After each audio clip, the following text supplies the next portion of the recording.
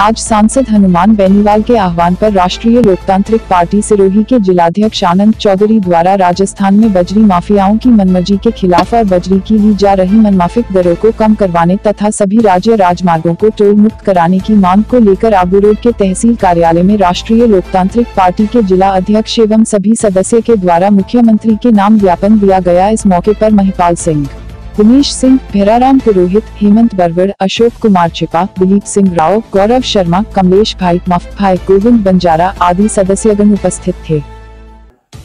सांसद रालोपा सुप्रीमो, हनुमान बेनीवाल जी के आह्वान पर हमने मुख्यमंत्री के नाम राज्य में बजरी दरों को कम करने व टोल मुक्त करने के लिए ज्ञापन दिया गया है। हमारा माननीय मुख्यमंत्री से निवेदन है कि आम जनता की परेशानी को देखते हुए राज्य में टोल माफ़ करे।